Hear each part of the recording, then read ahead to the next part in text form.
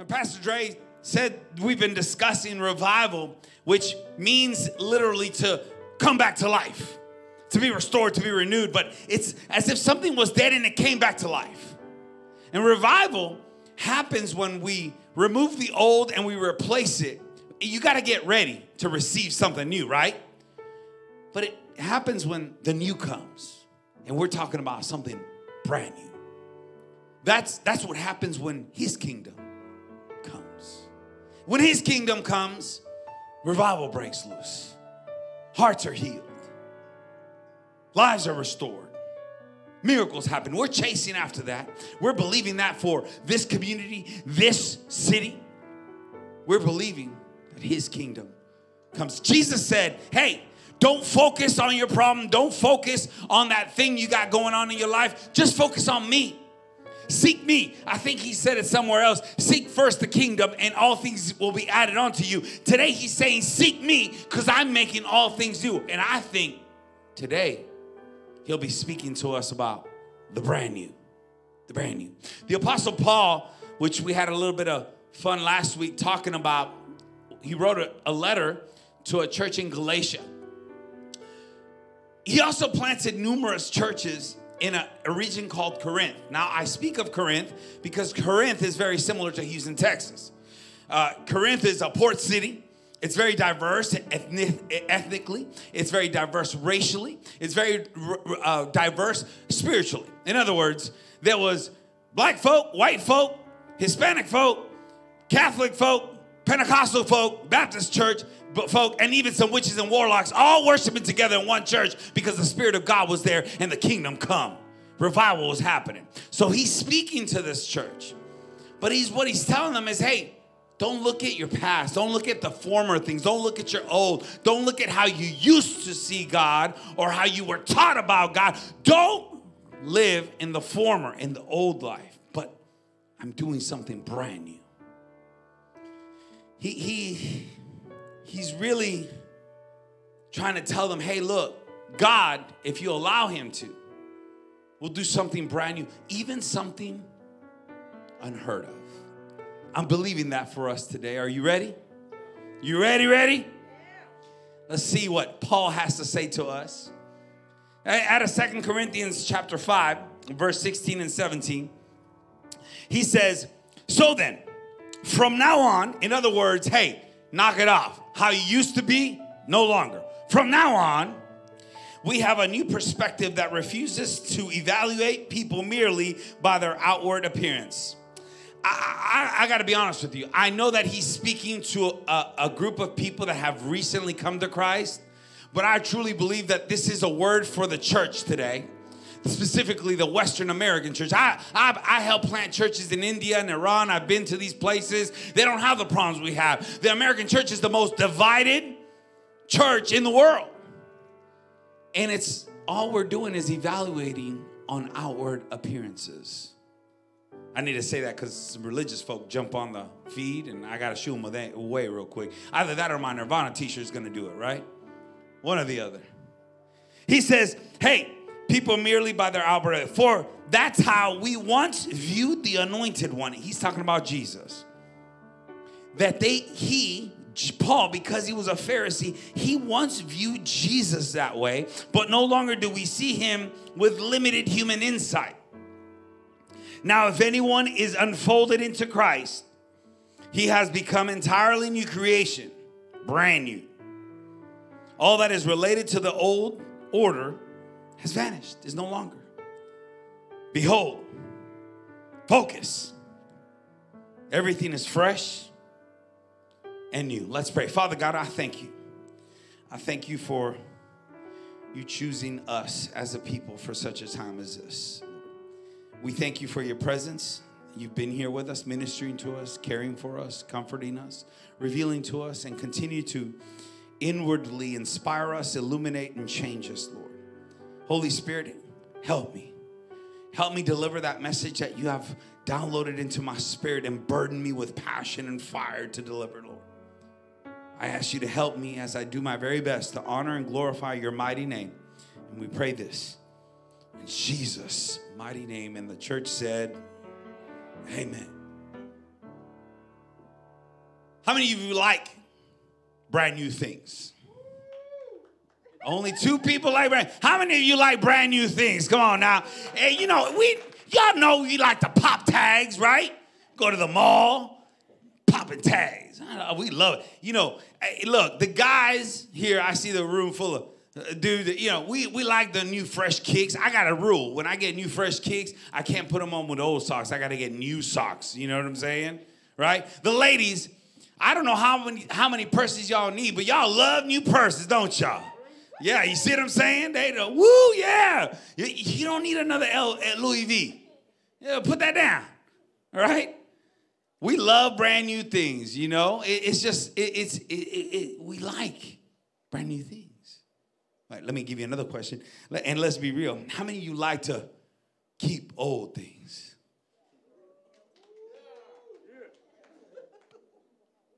How about hoard?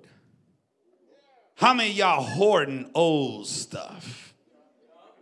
Come on now, let's be honest. I believe today the Holy Spirit is going to reveal some things that we've been hoarding on to that no longer belong to us. Can I tell you why people hoard? I discovered this. I didn't tell this the first service. You know why people are hoarders? They hoard because it gives them comfort. It's an addiction to control. I wonder if someone's receiving that today. However, a couple of weeks ago, we realized that the prophet Isaiah said in Isaiah chapter 43 19, I am doing something brand new, something unheard of. Something unheard of. But how come we still seeing, expecting, living, acting with that old mindset? You, you, ever, you ever wonder about that? The same worldview? We, you know, listen, I said this first. We still living in that old mindset. Y'all are still worried about if there was a voter fraud or not.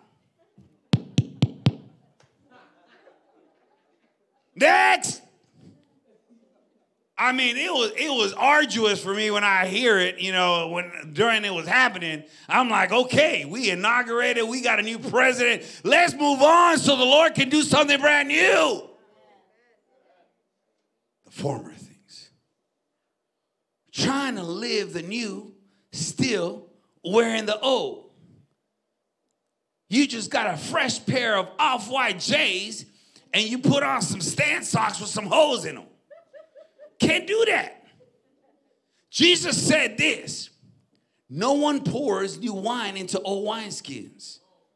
The way revival happened when you was a kid is not going to happen the way it happens today. Otherwise, the wine will burst the skins, and both the wine and the wineskins will be ruined. And Jesus is not into ruining things, He's into creating new things. No, they pour new wine into wine. This is Mark chapter 2, verse 22. Once we remove the old, we got to replace it with something new. We can't continue to fill the new with the old. There's got to be a newer mind a newer mindset, inwardly transforming us into what Paul says today new creation.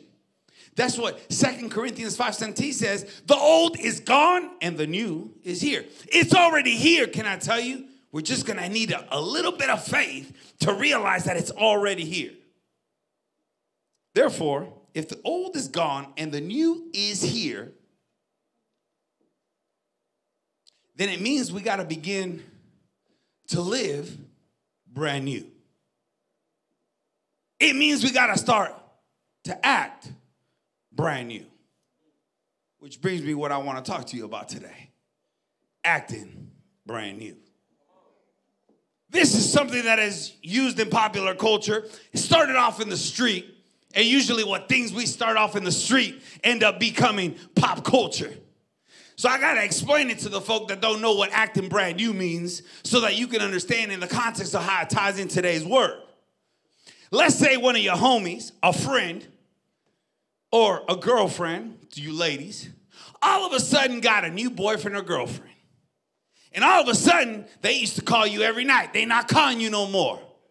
They won't pick up your calls. You text them and they don't text you back. They don't come around anymore. They might even tell you, hey, I'm busy. I'm, I don't got time for you. I'm, I'm too good for you. I, you're on, on a different level now. I got, a, I got a boyfriend. I got a girlfriend. They might be acting brand new. Hey, you picking up. You picking up. We all have this one friend. They always broke, right? Y'all know we got some cousins, some primos right now, right now that are broke. They always ask you for 20 bucks. We got more than one. All right, we got some we got some real honesty in the house today. And all of a sudden they got a new job. And they're making $20 an hour. You know, it's an oil and gas job. They're working at the refinery out there in Baytown. And they're making all kind of money. They got 10 hours overtime, overtime. And all of a sudden, them $100 you let them borrow, they ain't answering your call either. They're not coming around. They got a whole new set of friends. They might be acting how about this one? You got a you got a cousin, you got a friend, maybe even a sibling, and uh, they butt hurt about something. They mad about something. They not getting their way, right? And they don't have the stones. They don't have the honor of confronting you with love.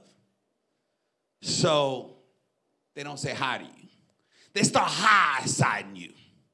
Another street reference. High siding people is simply is they know you in the room. They just ignoring you. They acting like they don't see you. Knowing damn well I'm the loudest person in the room. I can't whisper. And they want to act like I, I, I didn't see him. Mentiroso. You know you saw me when I walked in, shouting and yelling. I mean, I can't do nothing quietly.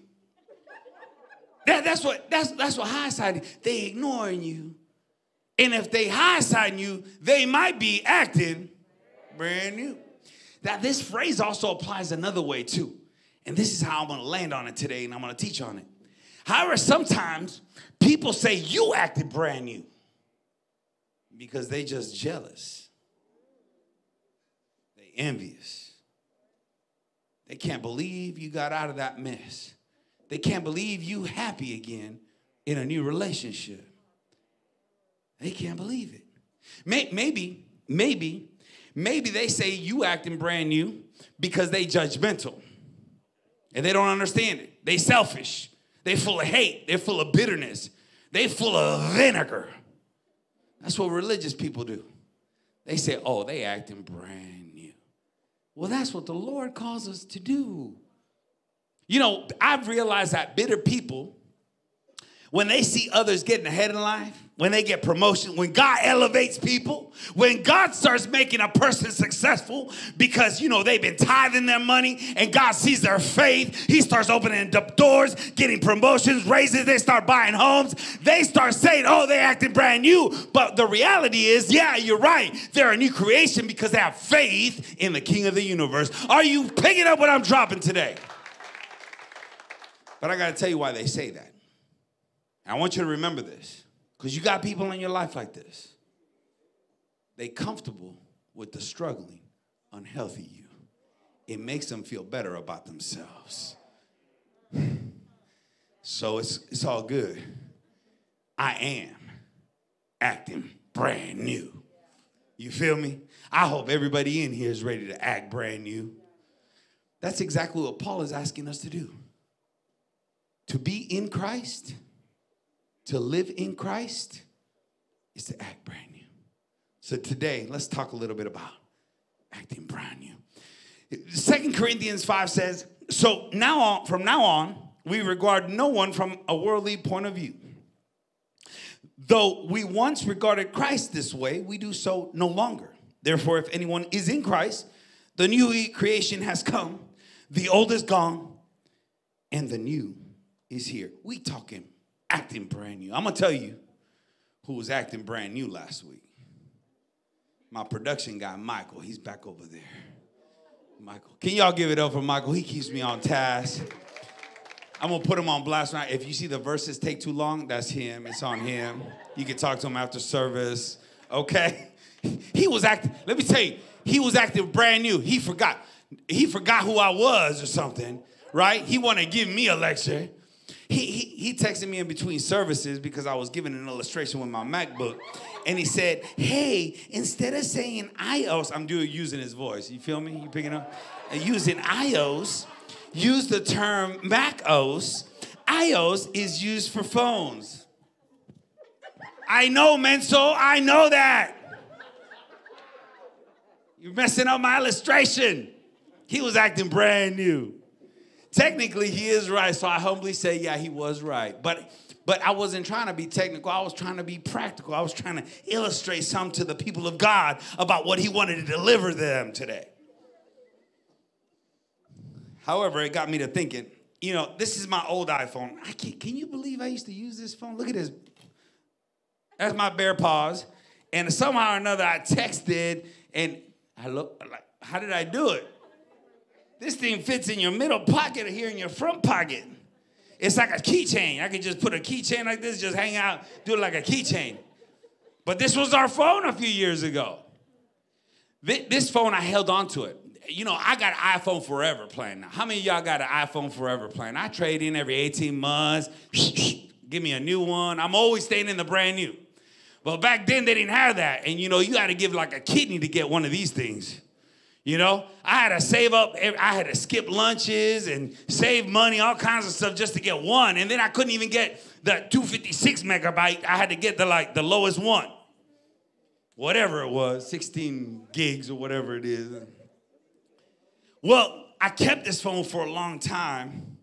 And I just kept downloading the new software update. I kept downloading the software update. But at some point, I put so many, you know, when you're in life, and I started out as a youth pastor, I just needed a few apps.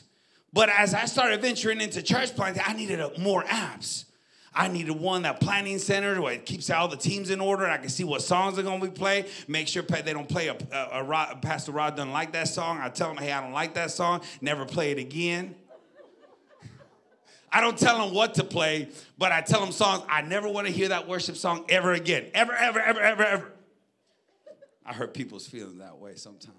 But you see, there's some apps that I had on my phone, and I just kept adding and adding. Finally, I couldn't download anything else anymore. So I had to go get a new phone. It, machines are created, but humans are both created and formed. And we're formed by the experiences we have in life. We're also formed by the growth we have in life. So Sometimes we outgrow the apps that we used to have. Are you picking up what I'm dropping? And, and so after a certain amount of time, you develop and you have to get new apps, but you gotta let go of the old apps. Maybe, maybe, maybe some of these apps that are downloaded is, you know what, I'm a new creation in Christ. I don't need that Pornhub Hub uh, app anymore. I gotta delete that one from my phone. I don't need that world star hip hop anymore. I'm gonna delete that from my phone. Oh, that betting place I used to, I gotta delete that from my phone. But we're also formed by the Word of God and we're formed by the Spirit of God. Which is why Paul was saying in Romans 12, 2, let God transform you into a new person by changing the way you think. In other words, we got to renew our minds. We can't transform if we still continue to think the old way. Jesus said you can't put a new person in the old person's body. You got to be recreated. That's what the Holy Spirit does. Now, I got to tell you, this happened to me, and it, it's a very personal thing for me. I want to show you a picture where it shows two people. There are things about me that no longer exist because I am a new creation that stands before you. The guy on the left is ruthless, brash, abrasive, addicted, arrogant, cocky, temperamental, prideful, defensive, just a broken man. Don't, don't mind his middle finger. He's hiding something an addiction, suicidal thoughts, depression. The guy on the right is a new creation. He physically doesn't even look like the other guy. You know, for my birthday back in December, someone called me and said, Hey, You look younger than you did 13 years ago. What's your secret? You know what I said? I know it sounds really cheesy. I said, Jesus. I said, Jesus did it all. So, you know what? Because of Jesus, I act brand new. I live brand new. I am brand new. That picture you saw of me, I was super unhealthy. You know, I weighed 315 pounds, high blood pressure, headed to diabetes, depressed, addicted, suicidal, just a miserable human being. However, all that changed with one thought. This is what I'm trying to tell you one thought. I can't do this anymore, God. Whatever you ask me to do so I can change, I'll do it. You know what I did? I did it. I began acting brand new. I gotta warn you though, if you're gonna act brand new, you're gonna lose some people. You're gonna lose some friends. You're gonna lose some family. Maybe they weren't yours to begin with. The real ones will stay with you, will grow with you. They'll be like, you know what? I don't know what Johnny's doing, but I want some of him. I want to know whatever the Lord is doing in him, I need that in my life. Because I used to remember when he was down in the dumps, he was living like hell. And look at him, he's shining, he got joy in his life. I want some of that. Those are the real ones because the other ones just want you to be down in the dumps. They want you, they, you know what? They just want you to hang on to the old so they can feel better about themselves. We got to start acting brand new. I believe the new is already here. I believe the new exists already. We, you're beginning to feel it. We just need a little bit of faith. You just got to let go. You got to let go and let God have his way. I can't control it anymore. You, you, you control. My way doesn't work. And as we do, I believe the brand new will download into new creations. Before we get to that, I want to show you some things that I thought about, some thoughts as I reflected on this text. And can I be honest with you? When I reflected on the fact that my life is revival and the fact that I want this revival for your life, for your families, for your businesses, for your careers, for your finances, for your for your church, for your community, for this city. But you know what we got to do? We're going to have to let go of the old to receive the new. If you if you want to live in the new, you're going to have to let go of the old. This is simple, but it's also difficult. It's one simple step. Let go. Let God. We say that in AA, they say that to you all the time. And at first I was like, that's so dumb. And now it's one of the most powerful things I do. Let go and let God. It's simple, but it must be repeated, reiterated. We must remind ourselves. I journal about this. By the way, I literally write down in my note journal, hey, this is how I need to remind myself how I'm going to be better today because I need to be a new creation today because the idiot from yesterday doesn't need to come back. It's a constant reminder we have to live in. Because the reality of it is, as you venture through life, you know, you have an enemy. Y'all know that, right? And you know what the enemy loves to do? He loves to remind you of that mistake you did last year, last night, the mistake you did yesterday, the mistake you did, the thing you call that person, and you have to forgive them or you have to apologize. He's gonna remind you of your old, just like the old apps are gonna remind you. Used to, oh, I used to watch Pornhub. Oh, I used to live on World Star Hip Hop. Oh, I used to bet all the time. It's gonna, the enemy loves to remind us of our past, our mistakes, our failures, our sin. But can I tell you, God doesn't live there. He doesn't do that. How do I know that? Because the book of Hebrews repeats what God said in the book of Exodus when he told the Israelites, I will forgive their wickedness and will remember their sins no more. Then King David wrote Psalms 103 12. He has removed our sins as far from us as the east is from the west. And today, Paul is saying the old is gone and the new is here. So let it come. So, what are we waiting for? What are we waiting for to let go of the old and start acting brand new? What are we waiting for? This is in your mind. And over time, you begin to tell yourself things like, I'm just this way. This is why you got to read the Bible all the time, because it reminds you who you really are. Because your mind will tell you, I'm just this way. My parents were broke, I'm going to be broke. I'm just that way. My dad had a temper, I got a temper. I'm just like my daddy, I'm just like my mama. Instead of preaching the gospel, we go around preaching the gospel of Prince. Y'all know what that is? He says, Maybe I'm just too demanding. Maybe I'm just like my father, too bold. Maybe I'm just like my mother. She's never satisfied. Y'all don't know Prince?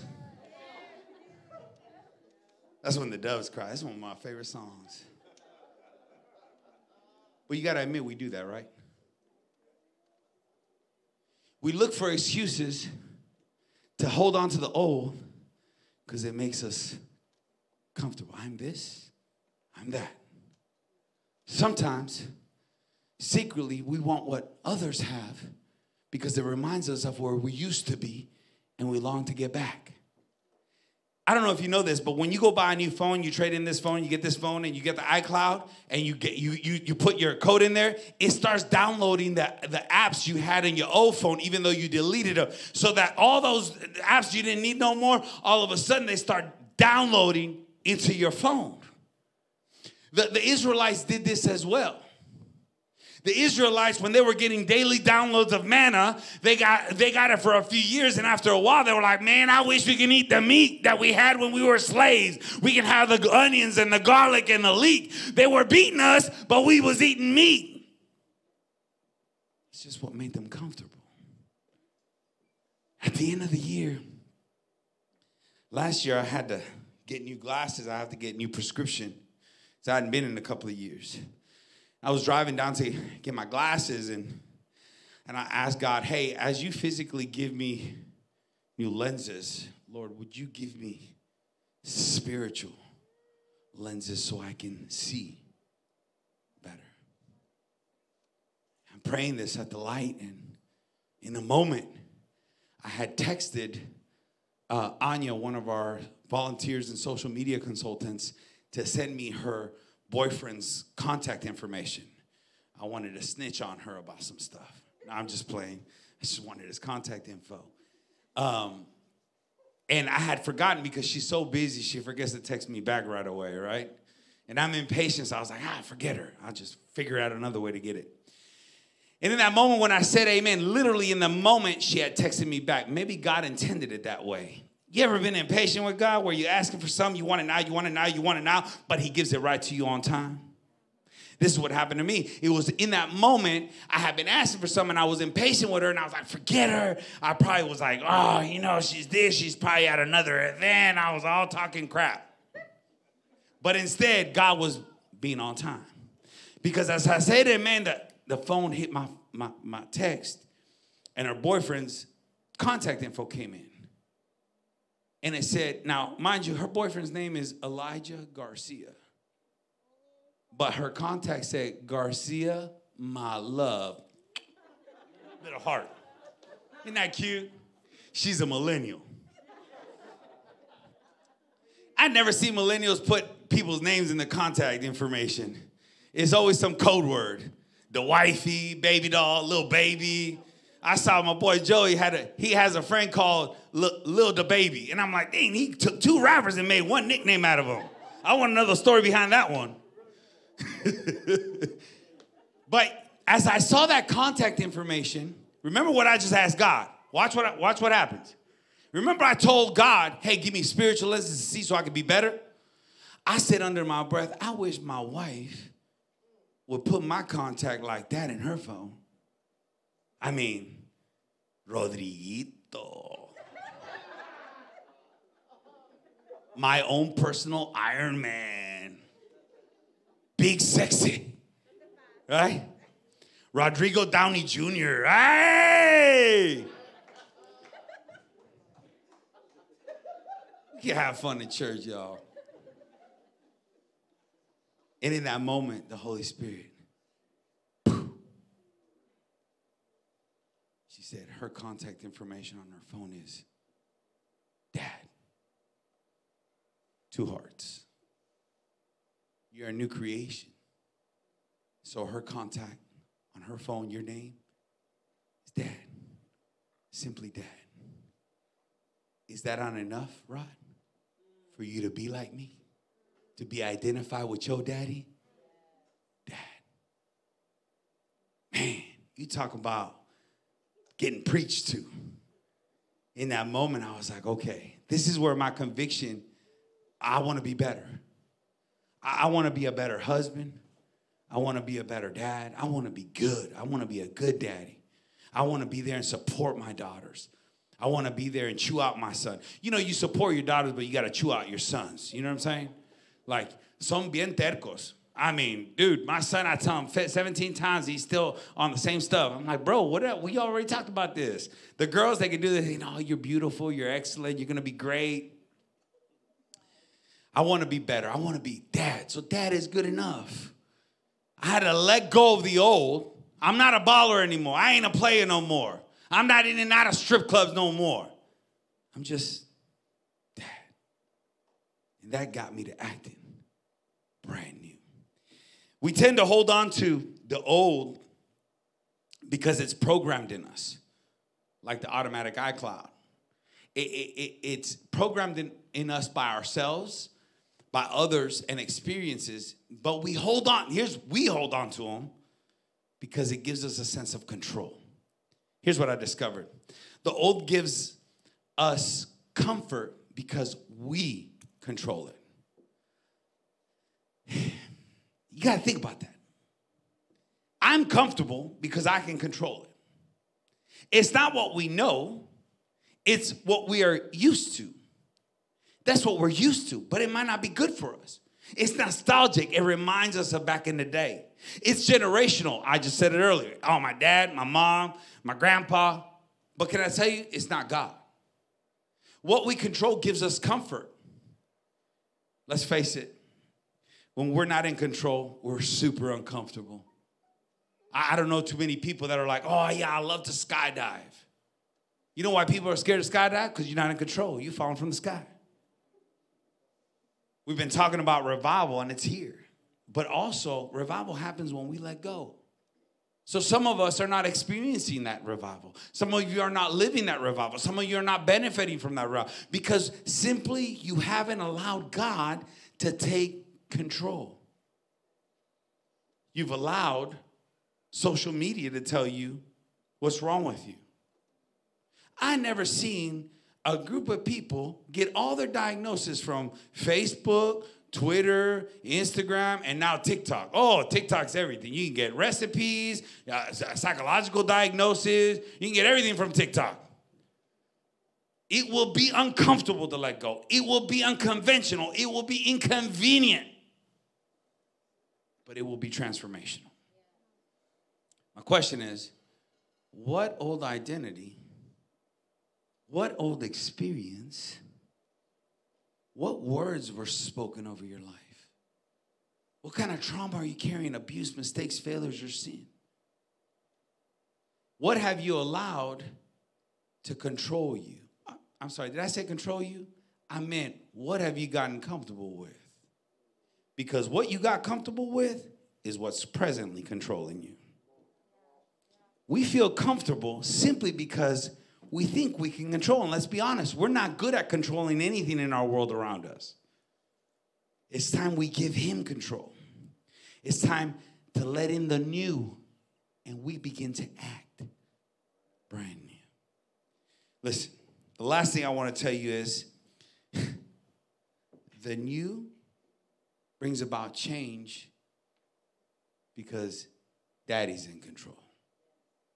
That's when real change happens, when he's in control. The new is unpredictable, but it's good. The new is unexpected, but it's prosperous. The new is unseen, but it's for our future. That's why you can't see it. Just know it's gonna be there. And it's generational. You pass it on to your children's children. More, most importantly, what you need to allow is His Spirit to move in this space right here. This is the toughest space for the Holy Spirit to move in.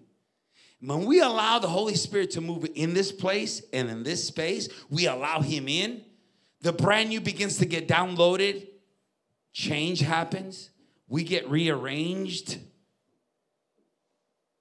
simply because He's in control, not us. And all it you need is faith. The new means change. And it's change because He is change. I remember when we first launched the church, we put this on our website, not realizing we would be talking about revival five years later. But we put on the website, we are the change we want to see, not realizing that that's exactly what revival is. We are the change we want to see for good, for the better, for prosperity, for our future, for our children's children. Can I tell you? There will be troubles. I don't want you to think that you came to church today just to hear a good tickle your ear. There's gonna be trouble. You're gonna have problems. And can I tell you, especially if you're doing, if you're doing something for God and you're living for God and you are in Christ, you're gonna get opposed because the enemy hates you and he wants to take you down and he wants to steal your joy and he wants to take everything from you. You're gonna be opposed. But the word of God said, it shall not prosper. And those of us that give God control, He will make sure, He will make sure for your His name's sake that you prosper. What needs to change?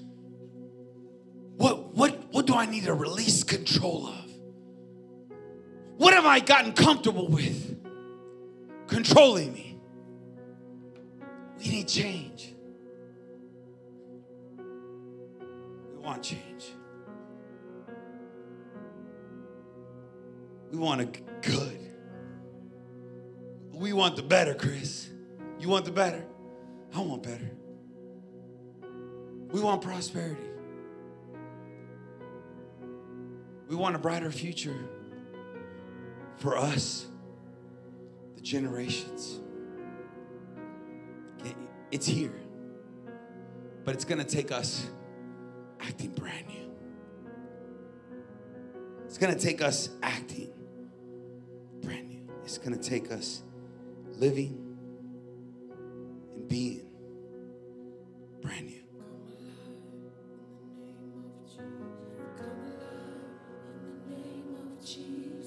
Come alive. It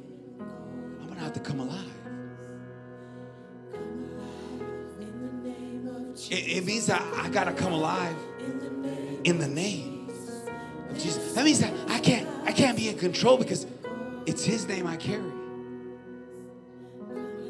I come alive when I release that control. And we bring everything, everything, everything, those bills, that, that pain, that old, the past, the, the grief, the troubles, the problems, the depression, the worry, the doubt, I got to bring it and lay it right here, right here, right here, right here, right here, at everything at the feet of Jesus. I come alive when I bring everything to the feet of Jesus, everything in the name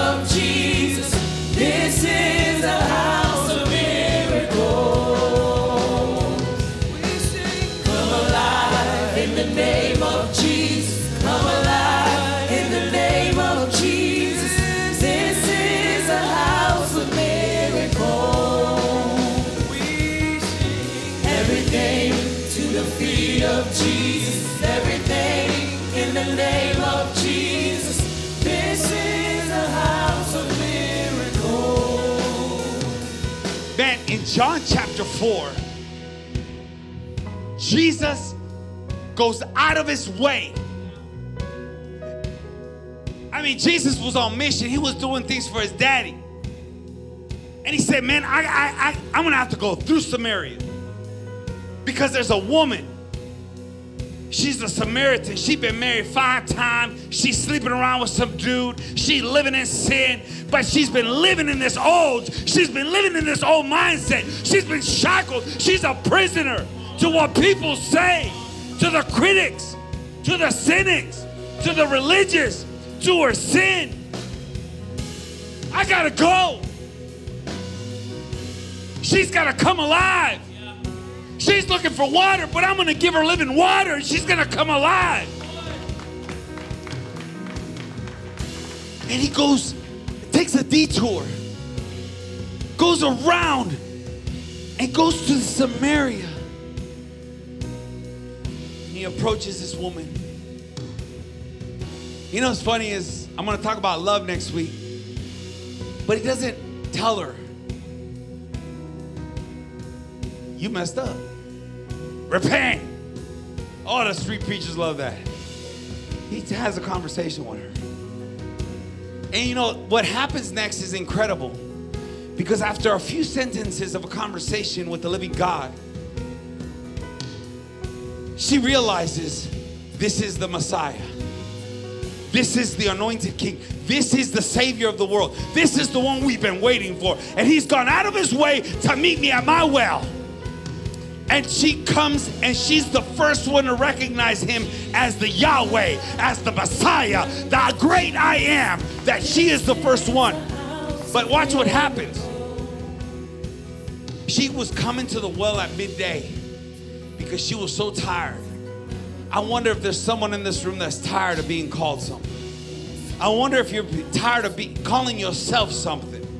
I wonder if you've been labeled something and you've been going around telling yourself about that you are a certain way and that's been taunting you. But Jesus has gone out of his way to meet you here at 2800 Antoine on a Sunday afternoon and he is telling you, no, no, no, no. And when she realizes who he is and accepts him, she leaves everything behind. And she starts running through the streets, praying to Jesus, praising Jesus, worshiping Jesus, preaching Jesus, knocking on every door because what used to be a loose woman sleeping around had become a child of God. Revival had come to Samaria. Would you stand to your feet just in this moment, wherever you may be? With every head bowed and every eye closed, Father God, we thank you. Or there's someone right now at their well. There's someone right now, and you've met them. And there's a past that's been taunting them. But right now, in this moment, what you're doing is you're claiming them as your own. In this moment, they're gonna make a step. And they're gonna say, No longer am I that, but I'm gonna come alive in the name of Jesus by accepting you as Lord, Savior, and King. That's you, would you raise your hand so we can pray for you wherever you may be in your living rooms, in your bedrooms? Just raise your hand. There you go, hands going up. Father God, we thank you for the hands that are going up. We thank you for revival. We thank you for salvation. We thank you for the Word of God. And we thank you for the Spirit of God because it is where your Spirit is. We come alive and we pray this in the name of Jesus.